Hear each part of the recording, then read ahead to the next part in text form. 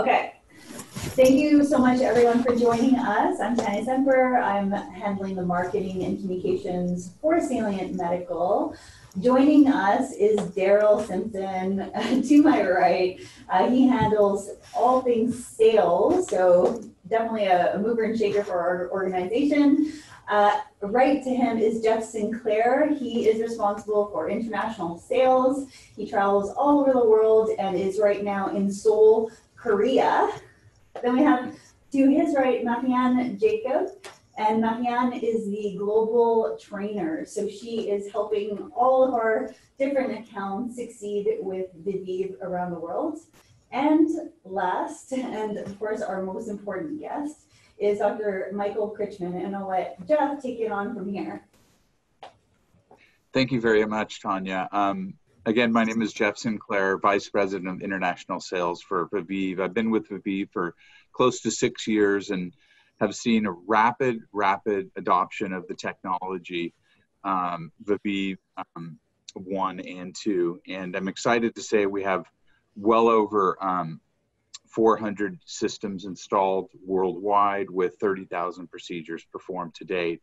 Incredible results in the area of stress urinary incontinence and also improvement of sexual um, function with only one treatment. I'm very, very pleased today um, to have with us Dr. Michael Krychman as a doctor of sexual medicine, a board certified obstetrician and gynecologist, and a clinical sexual counselor and author. Dr. Krychman has devoted his career to helping patients and their partners overcome sexual health challenges and experience a higher quality of physical intimacy.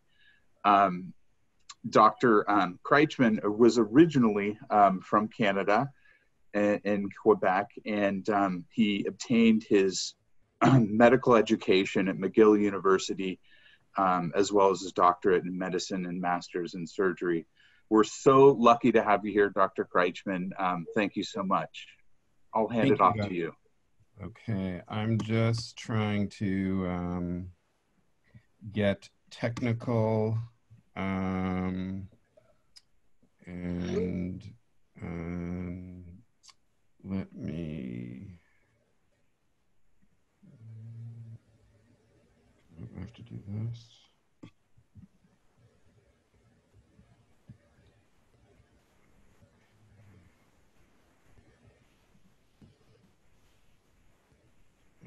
Let me do that. Okay, can everybody, can you guys see my slides? Yeah, yeah perfect. Michael. Perfect. Okay, and can you hear me? Yes.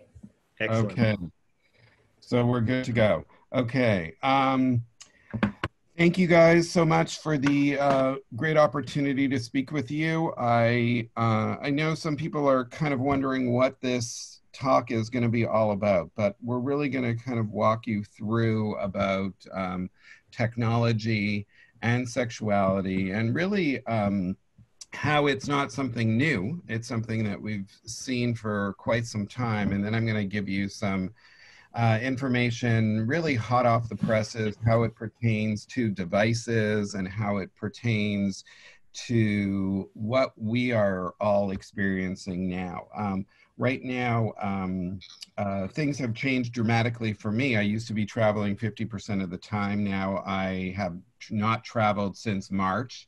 Uh, uh, I am now in my new man cave, which is called my office, where one of my offices has transformed into telehealth only. So, very technologically done. I have no staff because they've chosen not to return.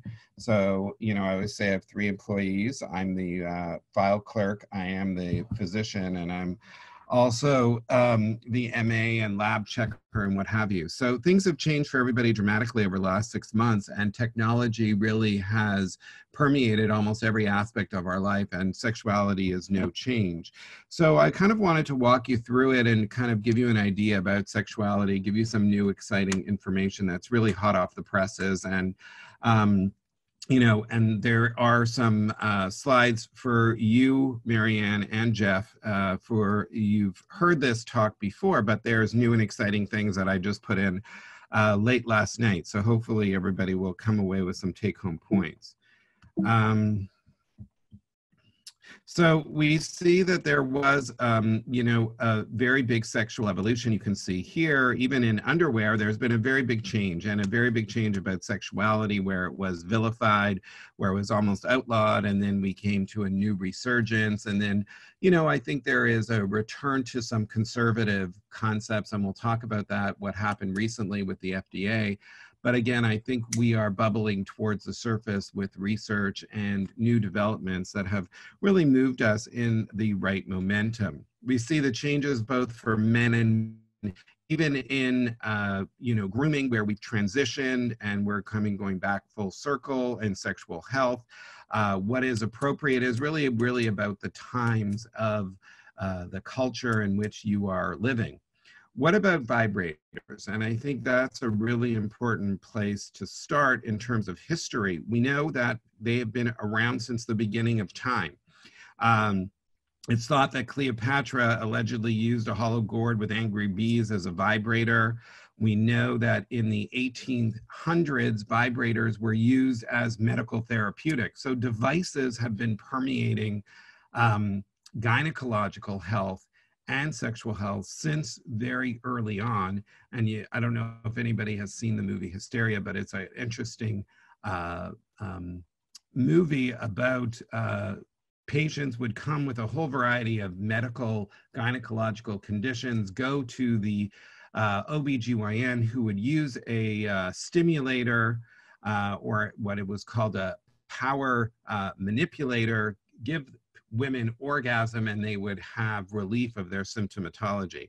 So the incorporation of technology really has been around for uh, ever in terms of sexuality and sexual health. But moving forward, you can see the transition. You know, we see here um, first vibrators and now we have ones that are for uh, people that have special needs. We have ones that are made specially for women who have arthritis. We have the, you know, the ultimate in vibrator, a diamond encrusted one, and again, the LELO, which has really gained popularity of a medical grade, multiple speeds and what have you. So we've come a long way from the original manipulator, and this just shows how the progression and interest and demand for technology and how it incorporates into our everyday lives is really quite vital.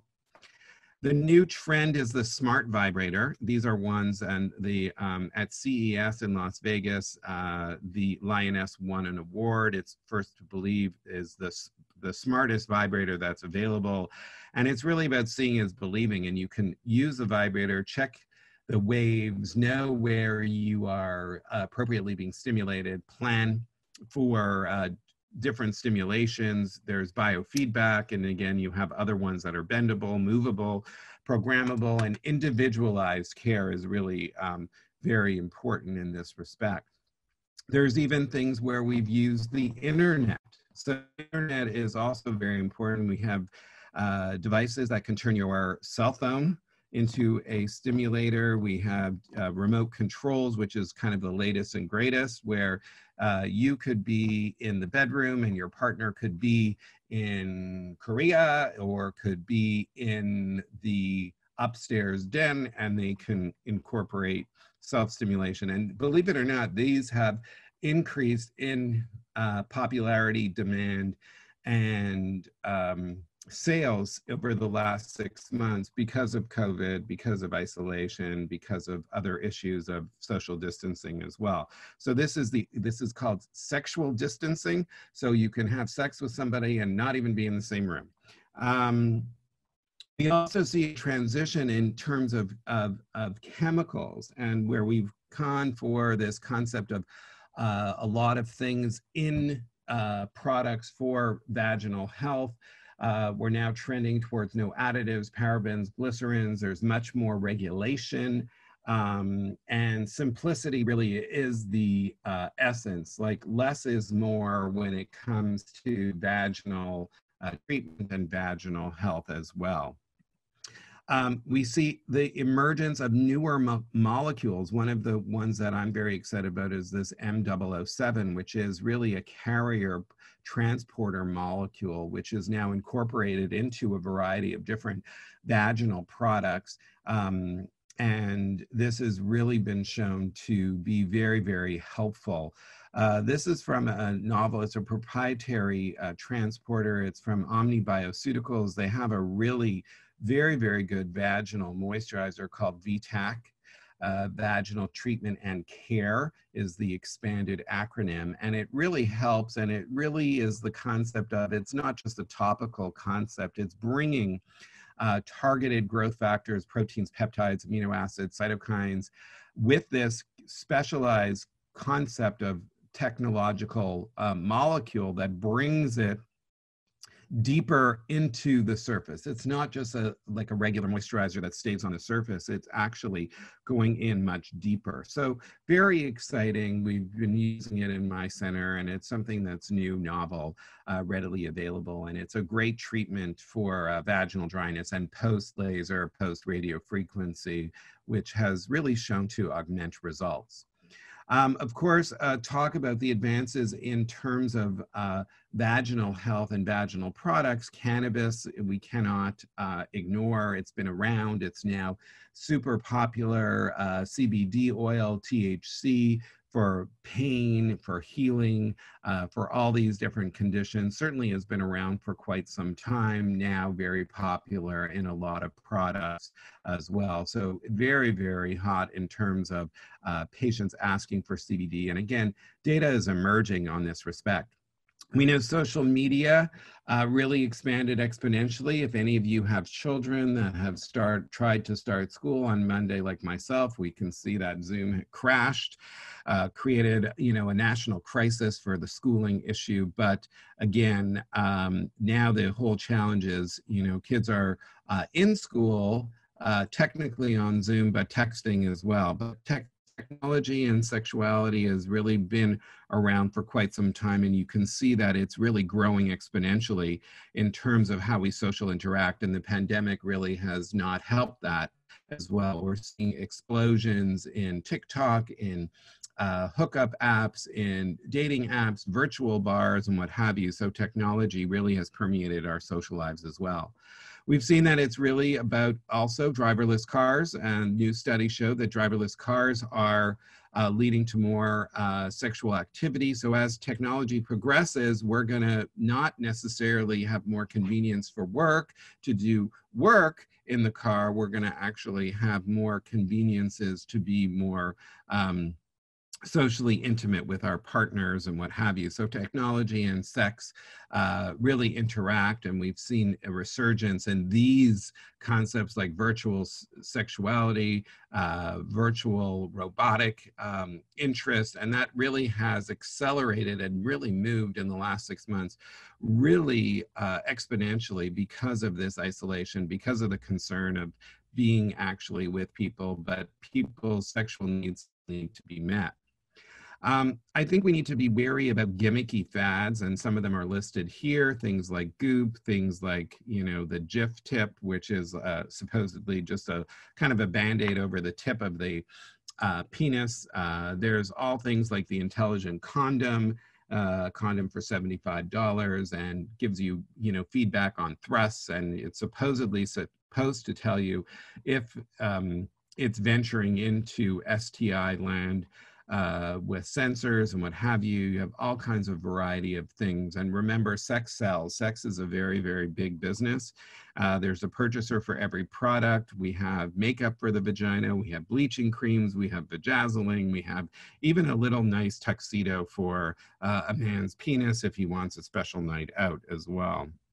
Um, and again, just up the street for me, they're promoting these concepts, which is, uh, you know, a vaginal steam, no science, no data, uh, detoxing the vagina. Actually, I've seen some women that have had third degree burns on their vaginal health for too hot, sitting too hot uh, while sitting on a pot, um, you know, and I think that's really important. So the, the concept of, you know, there's a purchaser for every product, sex sells, uh, really has been prevalent for quite some time, but there's really been a turn, a tide of turns in terms of looking at research. And we'll talk a little bit about that. And primarily, we've seen a lot of uh, things related to concerns, dangerous procedures, um, you know, things like uh, G-shot enhancement, uh, even laser treatment, uh, you know, I don't want to be a Monday morning quarterback, but I've seen a lot of complications.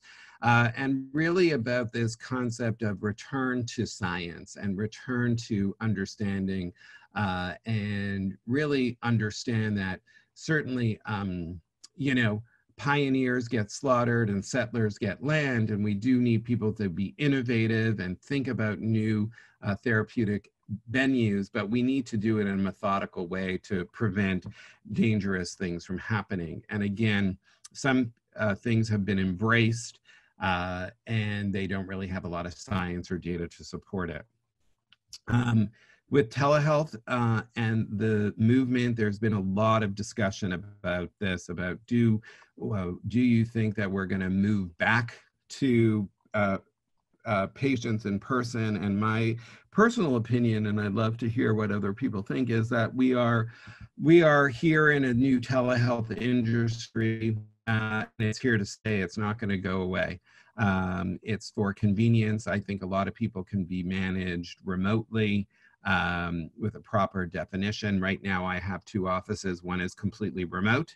So after I'm done today, I'll have 15 uh, telehealth visits, um, which um, is uh, quite uh, big for a, a, a long day. Uh, and I have another office where people can come in and get uh, appropriate care. So I think people are picking and choosing uh, and I think technology and healthcare is inevitable to stay very closely intertwined.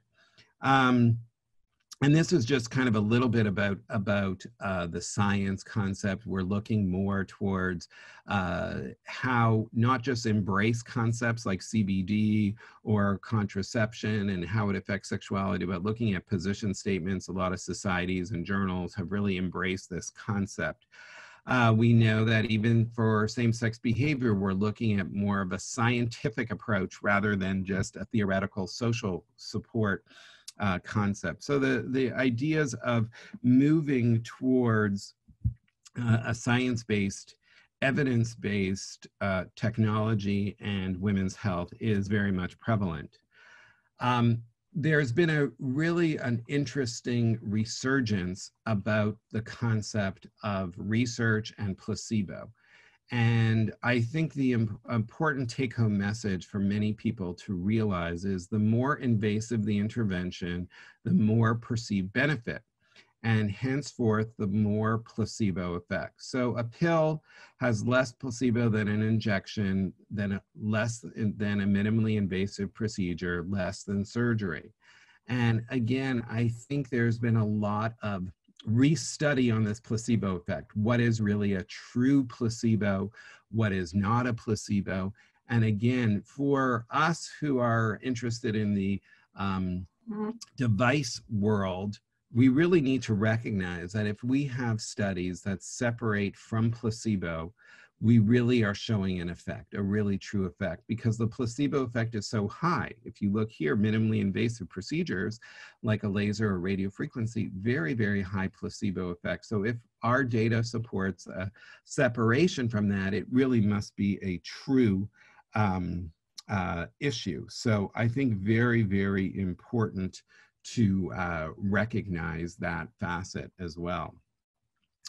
Um, this is one of the vaginal technologies really being looked at. It's vaginal photoplethysmography, which is looks at arousal, blood flow, uh, and again, very uh, objective measures of improved uh, circulation in the vaginal area. There's been studies, if you look uh, thermography, you can see that there's changes in blood flow with devices. So again, we're moving more towards an objective measure. This has been around for quite some time. Now, the challenge is sometimes these objective measures don't correlate necessarily with subjective uh, improvement, but you can really uh, demonstrate from an objective manner that you may be increasing blood flow, increasing the integrity of the underlying genital treatment. And we know that we know that uh, sexuality is a combination of biology and psychology. So you know, very often we have to fine tune both aspects of the uh, paradigm to show uh, very good improvement.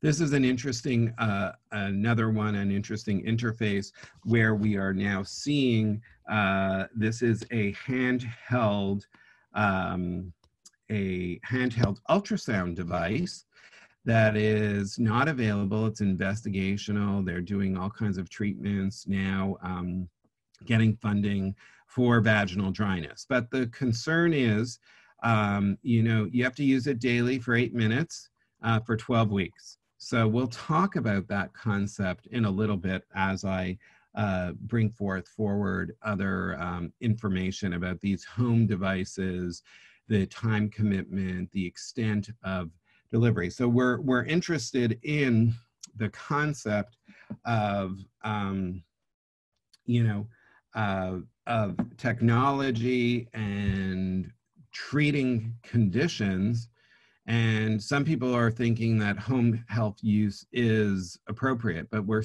seeing with home health use, we need daily using on a consistent basis for quite some time. And that not, might not necessarily be very compatible to other um, uh, situations. Um, I want to go backwards a little bit and then kind of uh, spring forward, we talked a little bit about the FDA um, in 2018 issued this whole concept of um, about energy-based devices uh, performed for vaginal rejuvenation, cosmetic procedures, and they had this uh, safety consideration. Some some uh, organizations were sanctioned uh, making false claims, and marketing really got ahead of science. And I think that's where we had some concerns and some considerations. And I think we're back um, to kind of a stable level where um, we're still really trying to embrace science. And again, there were a lot of articles coming out. One actually happened to be mine, which made national news. Really, it was called Rethinking the Techno Vagina case series of laser complications. It was fast tracked and published in Menopause Journal. Um, there was concerns about burns. This came out on the same time as The Bleeding Edge, which was really a Netflix original, a Netflix movie. Um, if um, any of you have had the opportunity, it would be a great uh, time to look through that. Uh, but again, a lot of backlash about embracing technology without the science to back back it up, and again, uh, marketing uh, really superseded science, and then there's been some pullback in terms of treatment.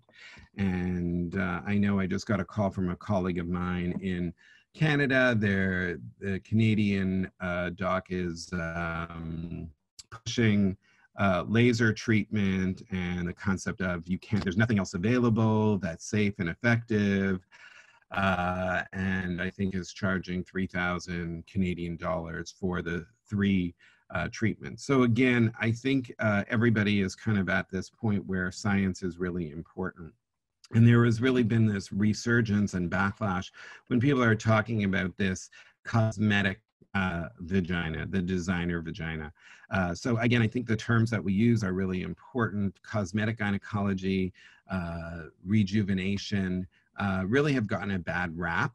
Um, and a lot of organizations, including um, you know, American Urological Gynecological Society, ACOG, they have all come out with different kinds of statements about this, and this was in December, not too long ago, about um, when procedures should be done, tread cautiously, uh, informed consent, uh, for clinicians to look at science and data, which was really quite critical.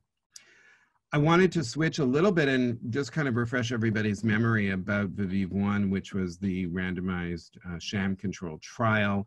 Uh, women started off at a baseline of, FS, of, a, of a mean FSFI score of about 22. Normal is about 26.5. And again, we see a clear distinction between the treatment arm and the sham arm as well. And, you know, I think it's really important to kind of know your responders. So people that have, remember, sexuality is a multifaceted approach.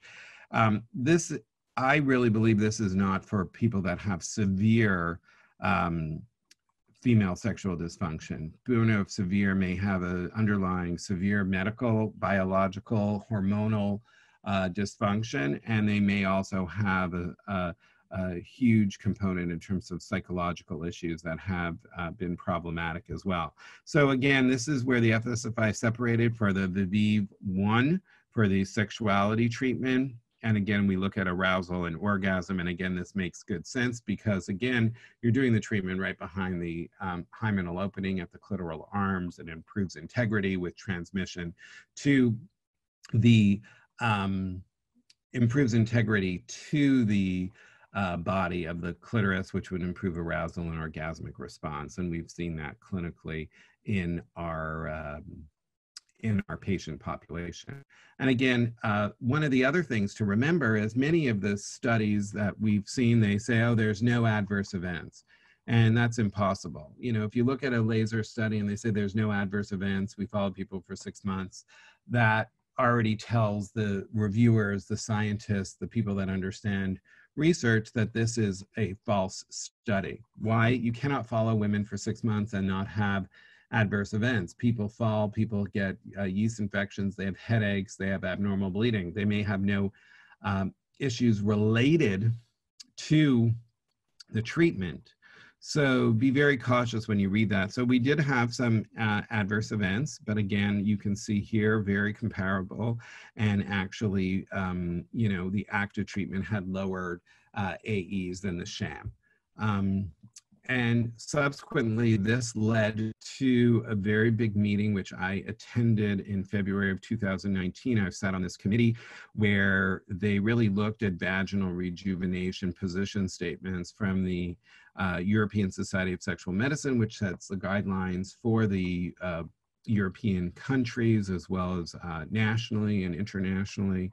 Um, and it would be a very good read to go through. And they really said that radio frequency is superior to uh, any other treatment for sexual health, given the uh, data that we have seen. Um, and again, it goes through the the the issues when you look at uh, SUI, and it goes through the issues of laser uh, as well. And again, we're not. This lecture is not going to talk about the differences between laser and radio frequency. I know you're all well versed in that, but I think it's really important to recognize that there are differences.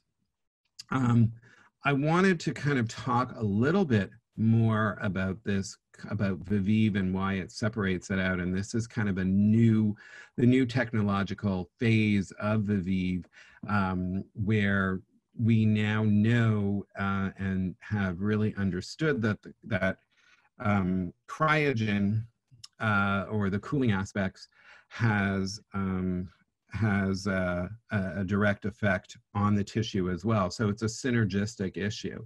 His, here's some of the background information. Cryotherapy is transient cooling, for those of you who are not sure. Uh, or just a quick refresher. So Viveve cools and then it heats and then uh, that makes it very different than just a regular heating. So we know collagen 1 and uh, 3 in 1 ratio increases after transient cooling. Heat shock proteins and stress proteins are synthesized when they're exposed to stressors, including cold shock.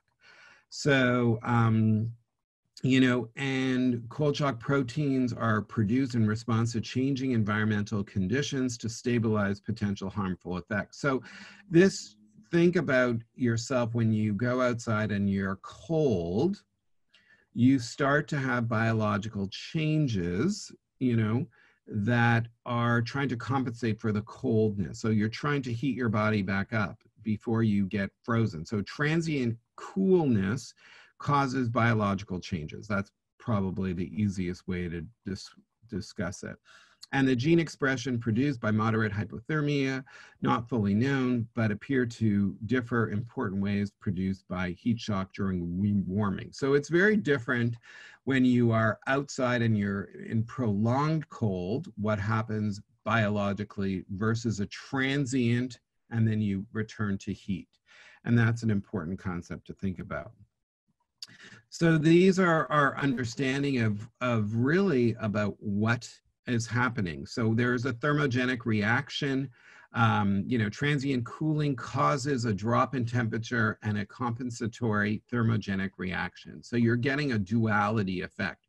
You're cooling the tissues and the tissues are being forced to reheat, plus you're doing the reheating right a uh, few um, moments thereafter.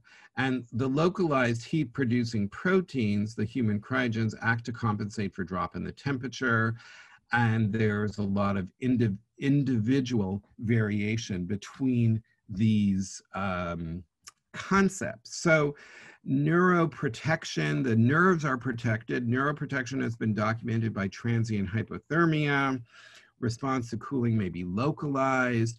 And I think the important concept is if if you take Marianne and put her outside, who someone who's lived in, you know, the Northeast for a very, very long time, her thermic reaction will be very different if you take me and put me out there. Yes, I lived in Montreal for 25 years, but I have not gone back when it's super cold. So remember the inter uh, individual variation to response to cold is very different. You can have two people in the same room and it's 72 degrees. One person is shivering and one person is wearing a tank top. And I think that's an important concept to remember that everyone's experience of heat and cold is individualized. And that's an important concept, especially with the Viveve treatment, that you're doing both of those concepts.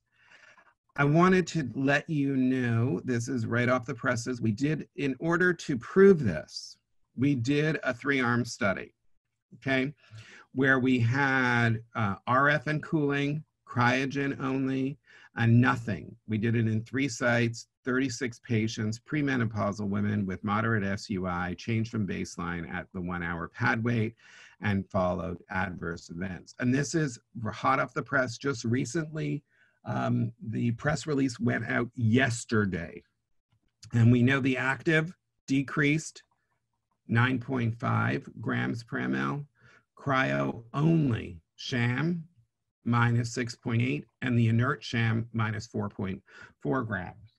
So we know that the cryogen has an effect. And we know that um, cooling monopolar radio frequency has a great effect um, as well, uh, more than just the cryo alone. So this is giving us a better understanding of our placebo, right? So we have a, a clear path forward to understand that if someone just gets the cryo, they're going to have a reaction.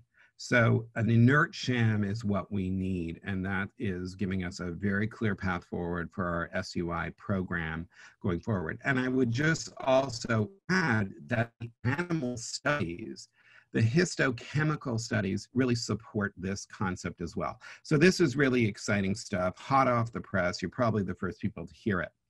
Um, the other thing about technology I wanted to also mention is this, you know, home device. We talked about the home vaginal device. We talked about vibrators. We talk about dilators. We talk about other things for urinary incontinence. And you're supposed to use it five minutes a day, every day for six weeks. Not only is it pretty expensive, but this five minutes per day, every day for six weeks is really critical. Same kind of concept with um, apex dilators intensity different things. The difference with these is this actually gives you the stimulation right? Um, versus the um, other device that was just fda approved is you have to actually do the contraction. This is one step forward for you uh, as well. But you know i was trying to find the best way to explain this and I think this is the number one way that we say we all have good intentions of doing something every single day, whether it's the treadmill, whether it is taking our medication, uh, and we do not do it. So the concept of compliance is really, really challenging. And I, I you know, some of the things, you know, um, I think everybody is going to be very happy to see 2020 go, and we're going to all have great resolutions. Uh, only 25% of us actually stay committed after 30 days. 8% accomplish them. Um, over 50% don't follow uh, medication regimens, which are life threatening preventing of cancer, high blood pressure, high cholesterol, Um, 25% of us don't fill our prescriptions that we need. We can't read our labels. So the concept of compliance is very, very important. And um, not to sound pejorative, but North American women and people in general want a quick fix. They do not want to be committed for five minutes every day for six weeks. It's cumbersome because it's not really five weeks, five five minutes, right? Let's really be honest because you have to you have to go into your room lock the door get the things out do your exercises yes for five minutes then you've got to take them out then you've got to clean them so we're talking 15 to 30 minutes daily and i don't know if uh, compliance is going to be uh, very very um, uh, high given the fact that we know that compliance is very low for life-threatening issues, even like taking a pill. Um, and we all have gadgets um, that are lying around that we haven't used. Um, you know, I uh, found this picture, and this is actually a picture in my house. I have a gazillion different, I have an iTouch, iPhone, iPads, all kinds of things. The latest fad that, um, you know, an iPad, a, a Nano or whatever they're called, um, we all have those latest fads and want to get the latest and greatest machine and we end up not using them and other things come back there forward so there is no such thing as a free lunch i think the concept of getting a treatment and being done uh, one and done is very very important we know that compliance with a one-time dose medication is exceptionally high comparatively to a three or four day course and we also know that with laser. A lot of women come for their first treatment and they don't come for their second or third. And that's why we're seeing a shift towards most clinicians saying you got to pay for all three up front. They recognize that some people get better after one and they don't want to come back. So again, uh, think about compliance and patient acceptance when you're thinking about uh, procedures that you're going to offer and do. Uh, and we know that uh, patients don't always listen to what we tell them in terms of medication and compliance and, and stuff. And I know that I do dilators very, very often for women who have uh, vaginal stenosis, cancer therapy, and what have you. And um, we know that they uh, we mark it down, we tell them, we spend a half an hour discussing it, and they come back and they haven't really grasped the idea. The only thing that has been shown to be helpful for dilators is repetitive learning and frequent visits every four weeks to help them on track. So compliance with um, procedures, medical treatments is exceptionally low, and we need to kind of factor that in as we uh, discuss treatment options with our patients. Um, this has kind of been the trend of sexuality, technology. Um, we saw a really huge wave of technology with laser and radio frequency. And then with the FDA, we saw a crash, reversal, and now we're seeing a rediscovery where there's now more science based stuff, randomized sham controlled trials. Um, you're seeing physicians tread cautiously. Insurance companies have caught up and saying, you want to do laser, that's fine. There's no, you have a complication, we're not covering you. There is now a resurgence of knowledge is power and science is power as well. So I would encourage looking at the data and understanding that and, in, and provide informed consent for your patients as well. Um, just some last quick slides and then we can open it up for some questions. Um, I always say you can fool all the people some of the time, some of the people um, all the time, but you cannot fool all the people all the time. Science will always prevail and data will always prevail in terms of uh, medical care for our patients. Um, and I would also say be careful who you follow blindly. Um, and uh, be careful when you blindly follow the masses. Sometimes the M is silent, and just because everybody is doing laser doesn't mean laser is appropriate. Um, and just because everybody is prescribing one medication doesn't necessarily mean that it's the appropriate one for this specific patient. So uh, use your best clinical judgment, use science, and uh, and uh, data will prevail. And with that, I'm going to conclude. I will open up the floor to questions. Um, and uh, we can go from this. Thank you.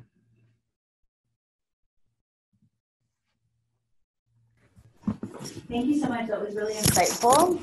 I do have a few questions. So one of which was what was interesting to me is how you were saying that uh, a lot of individuals are uh, are are thinking to themselves that anything that is non-invasive, pain-free, no downtime is associated with something that is not um, effective. So how are you dealing with that at your clinic, and why do you feel Viveve is a is a great solution for that? how do you approach those types of inquiries or those reservations that people have?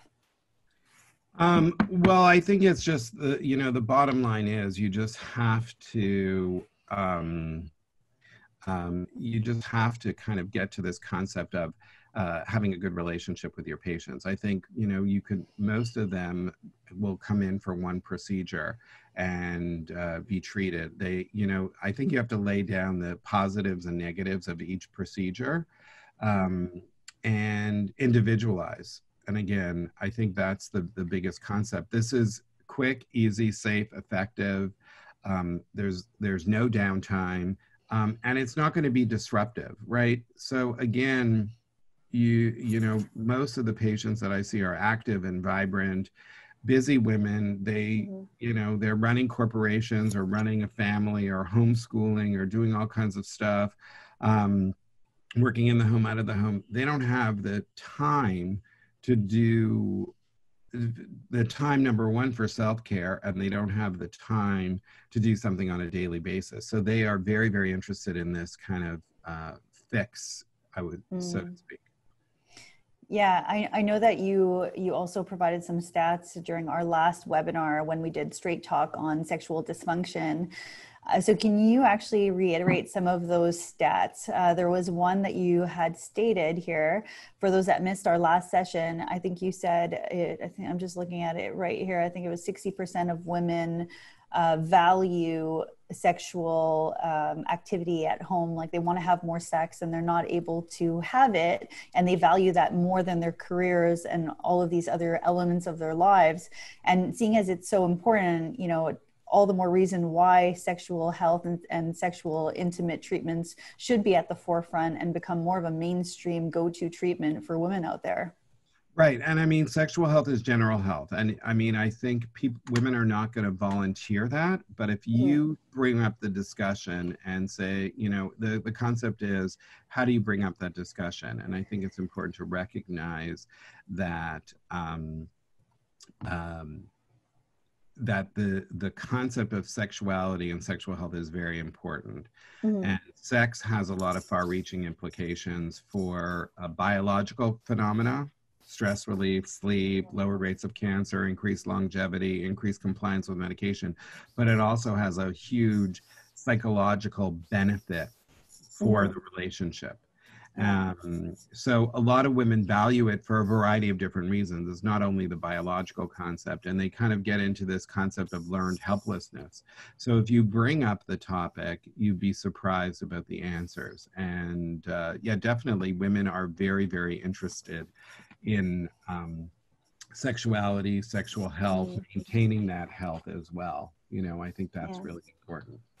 And so, based on some studies that I've come across, because I've also been very curious about this topic, and I've been told and I've seen that, um, you know, women or men for that matter, anyone who seeks pornography or toys or watches uh, videos and things like that, and it's almost like an individual will develop a habit or uh, not necessarily a habit, but a, a dependence on these on these toys or these other external means. When as you mentioned many times before and even in the last in the previous webinar you mentioned a lot of this is mental. It's a it's it's a psychological aspect too that ties into all of this right? So how do you how do you promote uh, sex tech as being as something that is something that uh, you know is obviously evident and, and very um, prominent in people's lives but how do you get them to not get so attached to these toys so that they can rely on themselves to achieve the natural lubrication and and achieve that sensuality well, that they, they need it's it's kind of like everything you know you can take your iphone and talk about the good the bad the ugly and i think mm-hmm. you have to give people perspective of this is these are typically therapeutic devices for either for treatment or for enhancement.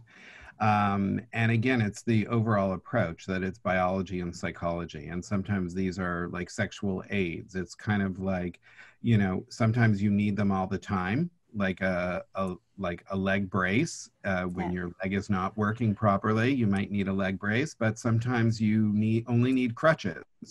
Yeah. So they may only be intermittently Mhm.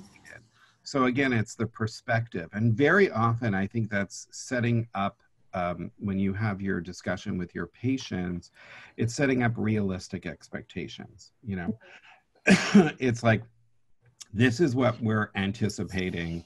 This is what we're going to do. This is how long we're going to do it for. This is when we're going to follow up. This is the expected duration. And sometimes, you know, like I have people who are on hormones and they say, How long am I going to be on? And I say, A lifetime. You know, um, you know, I have women that can't achieve an orgasm and they need a vibrator and I they say, How long am I going to need it? I said, Well, if it's not broken, don't fix it. It's fixed with this vibrator. Right. so again, it re- depends on the context. So you have to set the context, set the expectation, and have realistic expectations as well. Mm, yeah, that's a great point.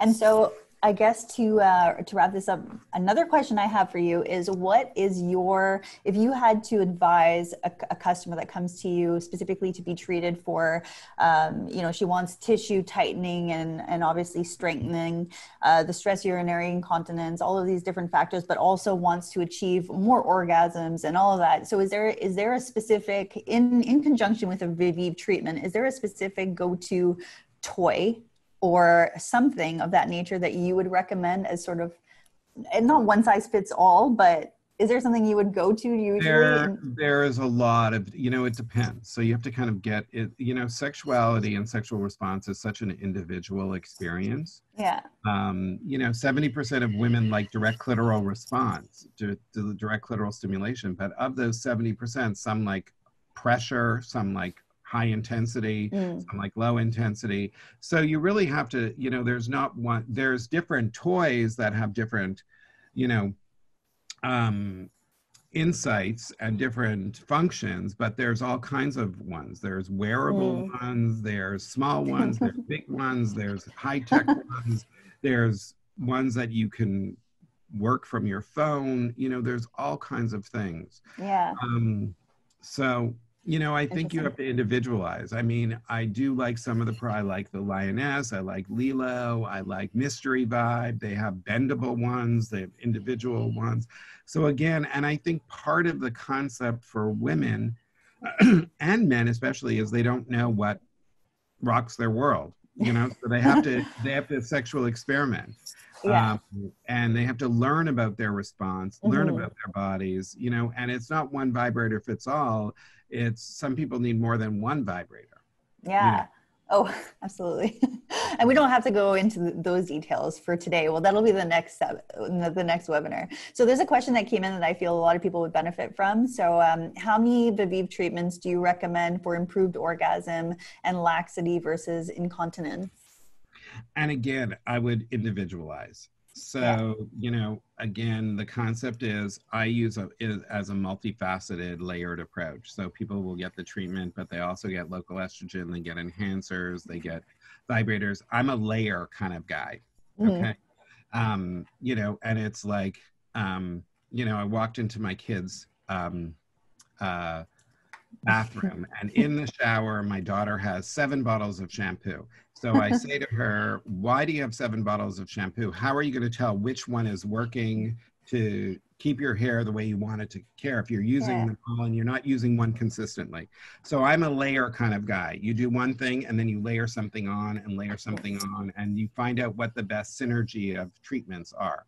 So usually one treatment i offer i i follow them up in one month and in three months i offer them the same price at one at for a repeat at six months i don't repeat it before six months and in that interim we may add other things as well or take things away Mhm. and very much individualize same kind of concept and i think the important thing is to recognize and set realistic patient expectations. Mhm. They are not going to become these sex fiends who are lurking by the water cooler waiting for sex every minute.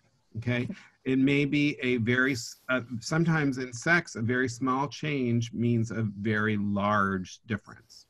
Mm, yeah, that's So- great. A lot of great takeaways there. Yeah. Um, so that's it for the the general questions. I think, uh, yeah, this was really insightful, and I think it's one element to a bigger piece. I mean, and I love your approach. It's very holistic.